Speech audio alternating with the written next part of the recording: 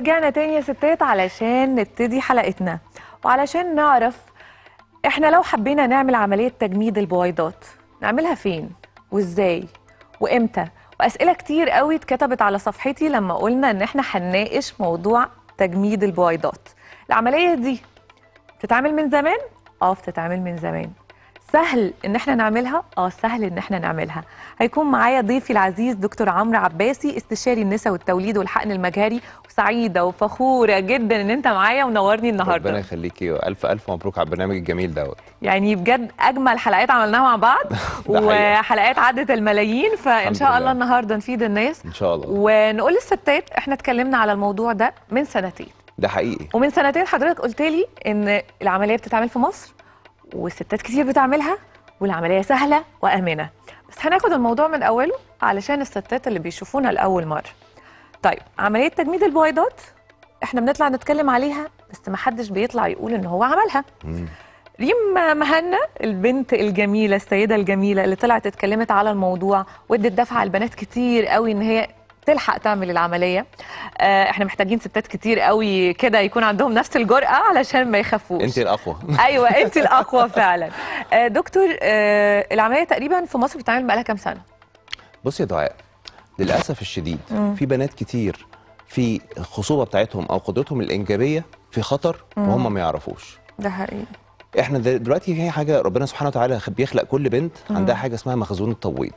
يعني عدد البويضات الموجودة في المبيض بتاعها طول فترة اللي هي ممكن تبقى عندها قدرة إنجابية فيها. مهم. يعني say من أول 18 سنة لحد 45 سنة. دي okay ال average life span مم. بس في بعض البنات ممكن تكون الخصوبه بتاعتهم أو المخزون بتاعهم أقل من كده. مهم. ممكن في ساعات بنات بيبقى عندهم عشرينات ونلاقي المخزون بتاعهم اختفى خالص. من 20 سنة؟ من 20 سنة. okay. طبعا دي حاجات نادرة عشان ما نقلقش الناس مش ده الطبيعي. ولكن في بعض الحالات النادرة. عشان كده إحنا دايما بنقول مهم جدا. قبل الزواج نعمل فحص فحص ما قبل الزواج. okay. دي حاجة مهمة جدا بالنسبة للرجل وبالنسبة للسيدة. طب لو ما فيش زواج دلوقتي؟ حلوة قوي. هي دلوقتي مش مش عايزة تتجوز مركزة أو فيش نصيب. خلينا. ناخد ال ال ال يعني الجنب التاني. مركزة في الكارير بتاعها مم. مركزة في الدراسة بتاعتها والسنين عماله تاخدها وإيه نسيت شوية موضوع الجواز دوت. طيب لقيت نفسها دلوقتي معدية سن ال 35 مفيش أي مشكلة خالص إن إحنا نعمل تحليل مخزون التبويض ده ومفيش مشكلة خالص ويا ريت نخزن البويضات بتاعتها.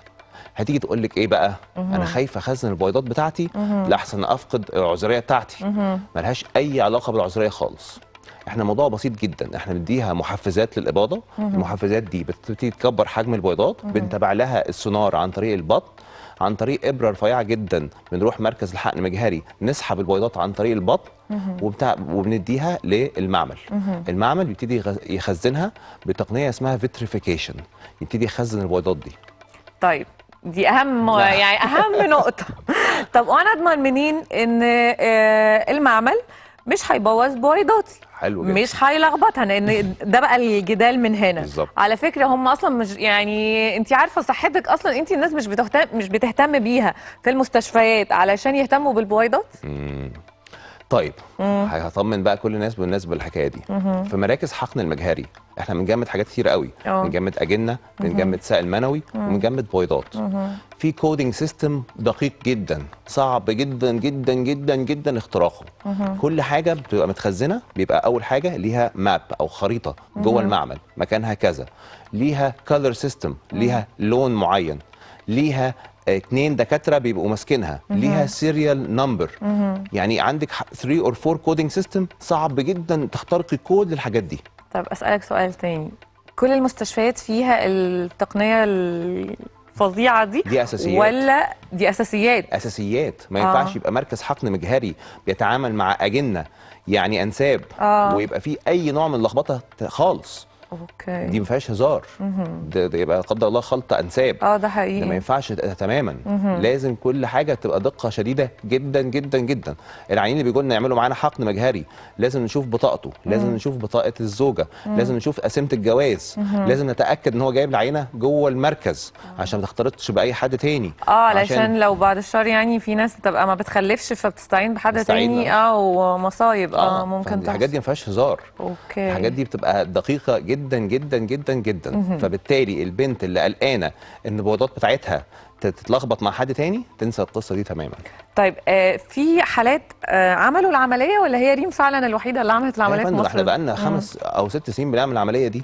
عملية بسيطة جدا. ودلوقتي كمان تقنية ال vitrification حسنت قوي جودة البيضات أو طريقة تجميد البيضات زمان كان أول ما بتجمد البيضات كان بيحصل فيها زي crystals صغيرة أو كر... يعني بت... بتتكلس بشكل معين. ولكن مع ال vitrification بقت أول ما نيجي نفكها بقت الجودة بتاعتهم أحسن بكتير وقدرتها إن هي تتخصب بالسائل المنوي للزوج المستقبل إن شاء الله تبقى أعلى بكتير جدا. طيب السن اللي أنا ممكن أروح أعمل فيه تجميد البويضات. من سن كام لسن كام؟ أي واحدة خلاص بيجي لها دورة شهرية منتظمة ممكن تعمل العملية دي. بس ملهاش لازمه إن واحدة صغيرة جدا تعمل العملية دي ولا واحدة أكبر سنا تعمل العملية دي. مثلا أنا آه عندي 30 سنة. ومفيش أي بوادر مثلا عريس أو حاجة. أعملها من سن ال 30 ولا استنى 35 ولا استنى 38 ولا استنى 40 ولا استنى 45 okay ده سؤال حلو قوي آه. طبعا دلوقتي لو هي 30 سنة ومفيش حاجة قريبة قوي ممكن إن أنا السيدة دي تعمل تحليل مخزون التبويض اسمه AMH okay. وتع... وتعمل سونار AMH. AMH وتعمل سونار عن طريق البطن في العيادة. okay. لقينا المخزون بتاعها حلو جدا وما شاء الله. ال AMH بتاعها فوق الاثنين أو فوق الثلاثة. يبقى مفيش مفيش داعي إن إحنا نعمل الموضوع ده دلوقتي. يمكن ربنا استني مثلا سنة سنتين. آه يمكن تقابل إيه؟ العريس مهم. في سنة خلال سنة أو سنتين ومفيش أي مشاكل. okay. بس أنا بقى دلوقتي أتكلم على واحدة. خلاص قربت لسن ال 35 okay. لا أنا عايز حضرتك تيجي العيادة ونعمل AMH ونعمل سونار وحتى ال AMH بتاعنا لو طلع أقل شوية من الطبيعي لا أنا حابب إن حضرتك تجمدي البويضات لكذا سبب. أول حاجة إن لو لو لا قدر الله أنت من السيدات اللي عندهم عرضة لموضوع إن هم المبيض بتاعهم اللي يخلص المخزون قبل الميعاد الطبيعي اللي هو premature ovarian failure حضرتك كده بتحافظي على الخصوبة بتاعتك لحوالي خمس سنين قدام. رقم اتنين البيضات اللي أنا هطلعها من حضرتك جودتها هتبقى أحسن بكتير قوي من جودة البيضات وأنت عندك 38 أو 39 سنة. فقدرتك الإنجابية برضو أعلى. رقم ثلاثة زي ما قلت دي حاجة مهمة جدا. إحنا دي حاجة مهمة بنهملها جدا في مصر فحص ما قبل الزواج. لو حضرتك جاي لك عريس واكتشفتي إن أنت عندك مخزون التبويض بتاعك قليل أو منخفض جدا المفروض تقولي له ولا ما تقوليلوش؟ ده سؤال ليكي. أقول له ولا ما أقولوش؟ مم. لا يعني الصراحة لازم أقول له. لازم تقولي له. ده حقيقي. طيب لو حضرتك قلتي له إن أنت مخزون التبويض بتاعك ضعيف بس خد خلي بالك أنا عندي بيضات مت- متجمدة من- بقالها ثلاث سنين. آه فأقدر أعمل العملية. تقدري تعملي العملية أو حتى لو ممكن يحصل حمل طبيعي طبعا وكل حاجة ولكن لو ما حصلش حمل طبيعي في فرصة إن إحنا نعمل حقن مجهري ببيضات م- متخزنة من ثلاث أو أربع سنين فاتوا.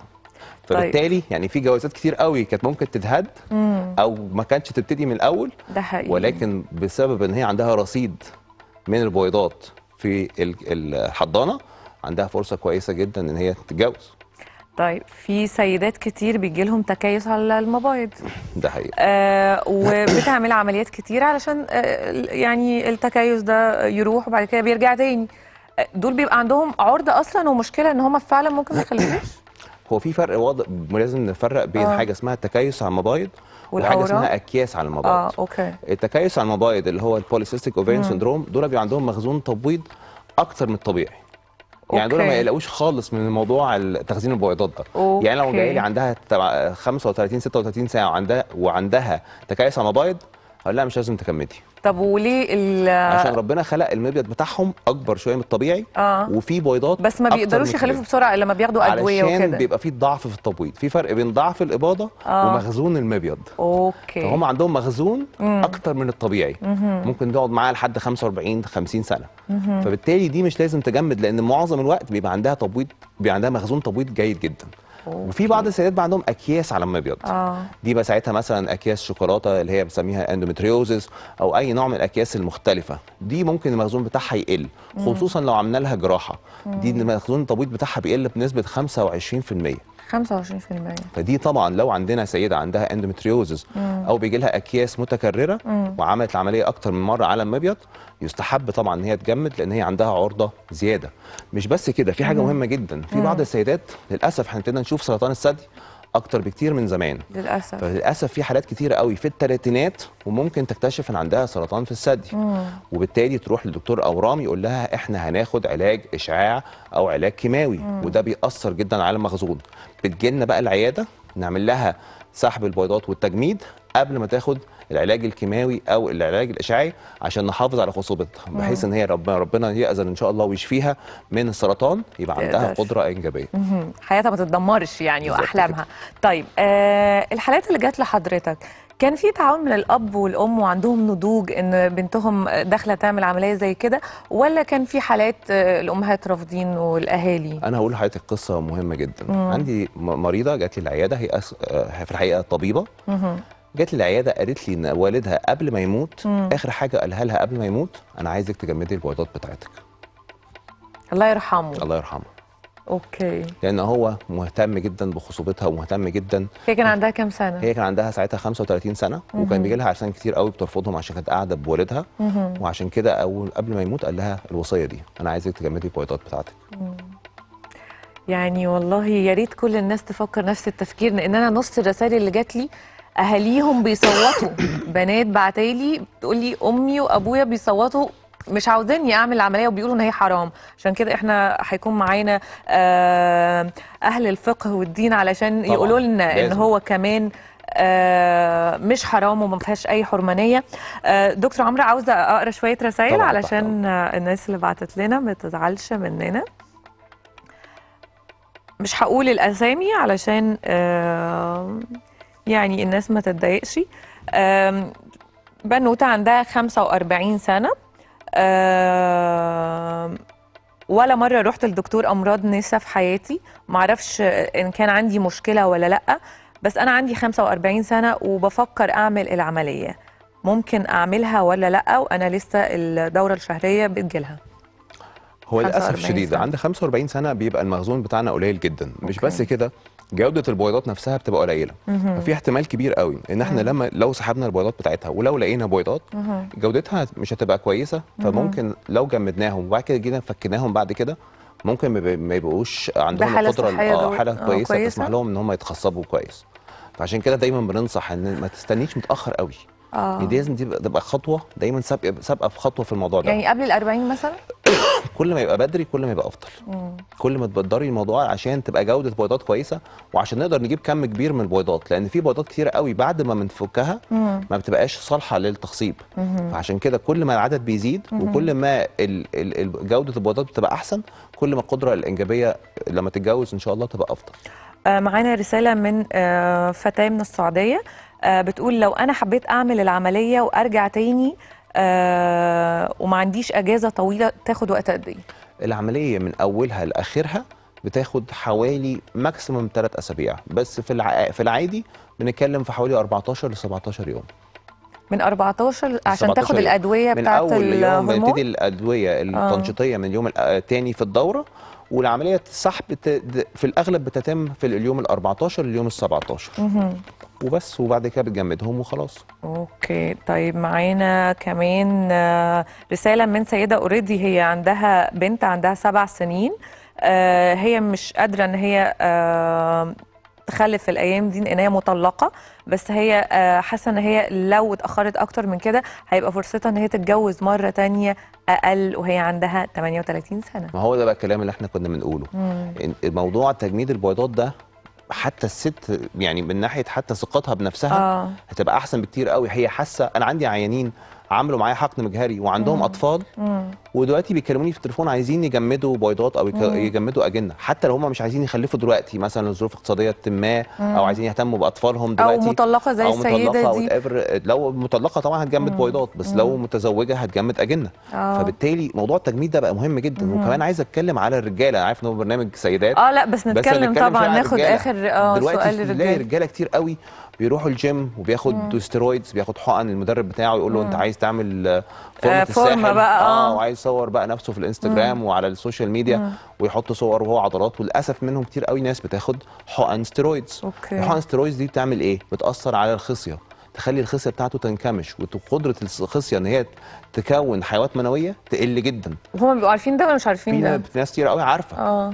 ولكن المظهر بالنسبة له أهم. فبالتالي الرجالة دول يقوم يجوا يتجوزوا ما يقدروش يخلفوا بشكل طبيعي وممكن كتير قوي منهم يلجأوا لحقن مجهري. أنا دايما بقول نصيحة لل- للشباب دول جمد سائل منوي. روح المركز بتاع الحقن المجهري وجمد سائل منوي. عشان أول ما تيجي تتجوز ولقيت إن أنت عندك حيوانات منوية قليلة يبقى أنت على الأقل عندك حيوانات منوية كنت مجمدها قبل كده. تنفعك اول ما تيجي تتجوز لو ما حصلش حمل طبيعي. وساعتها بيعرف نوع الأجنة ولا ما لا إحنا نقدر آه. نعرف نوع الأجنة. بعد ما نحلل بقى الأجنة نفسها نعمل لها تحليل دي إن إيه. أوكي طب يعني يدينا هو كمان فدنا الرجالة علشان ما حدش يطلع أيوة يقول. إحنا ضدهم. دكتور عمرو عباسي نورتنا وسعيدة. جدا بوجود. حضرتك معايا. وسعيدة بالقصة الجميلة اللي أنت قلتها لنا علشان الأبهات والأمهات اللي بيشوفونا. ما تحرموش ولادكم علشان أنتوا مش فاهمين ادرسوا واسألوا اسألوا أهل العلم علشان تعرفوا إن دي حاجة آه، مهمة جدا لكل بنت إن هي بتحلم تكون أم بشكرك جدا نورتنا. كملوا معانا. حلقتنا وما تروحوش أي مكان